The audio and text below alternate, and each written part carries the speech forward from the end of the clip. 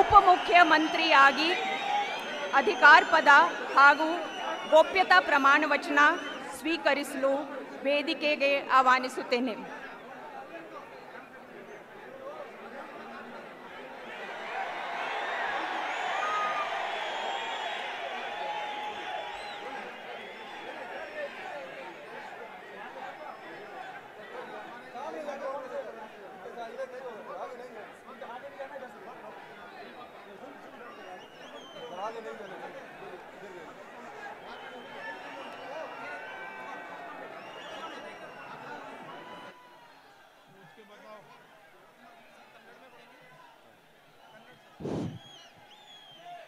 ನಾನು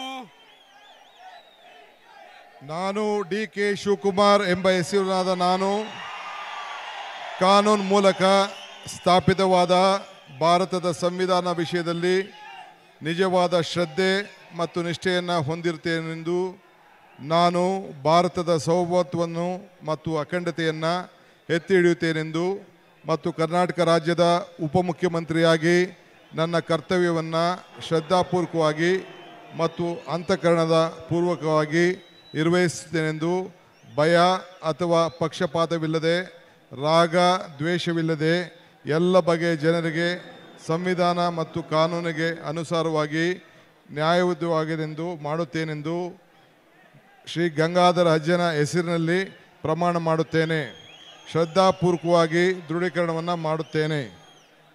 ನಾನು ನಾನು ಡಿ ಕೆ ಶಿವಕುಮಾರ್ ಎಂಬ ಹೆಸರು ನಾನು ಕರ್ನಾಟಕ ರಾಜ್ಯದ ಉಪಮುಖ್ಯಮಂತ್ರಿಯಾಗಿ ನನ್ನ ಪರ್ಯಾಲೋಚನೆಗೆ ತರಲಾಗುವಾದಂಥ ಅಥವಾ ನನ್ನ ತಿಳಿಯ ಬಯಸುವ ಯಾವುದೇ ವಿಷಯವನ್ನು ರಾಜ್ಯದ ಉಪಮುಖ್ಯಮಂತ್ರಿಯಾಗಿ ನನ್ನ ಕರ್ತವ್ಯ ಯುಕ್ತ ನಿರ್ವಹಣೆ ಅಗತ್ಯಬಹುದಾದಂಥ ಸಂದರ್ಭಗಳಲ್ಲದೆ ಅನ್ಯಥಾ ಯಾವುದೇ ವ್ಯಕ್ತಿ ಅಥವಾ ವ್ಯಕ್ತಿಗಳಿಗೆ ಪ್ರತ್ಯಕ್ಷವಾಗಿ ಅಥವಾ ಪರೋಕ್ಷವಾಗಿ ತಿಳಿಸುವುದಿಲ್ಲ ಅಥವಾ ಬಹಿರಂಗಪಡಿಸುವುದಿಲ್ಲ ಎಂದು ಗಂಗಾಧರ ಹಜರ ಹೆಸರಿನಲ್ಲಿ ನಾನು ಪ್ರಮಾಣ ಮಾಡುತ್ತೇನೆ. ಶ್ರದ್ಧಾಪೂರ್ವಕವಾಗಿ ದೃಢೀಕರಣ ಮಾಡುತ್ತೇನೆ.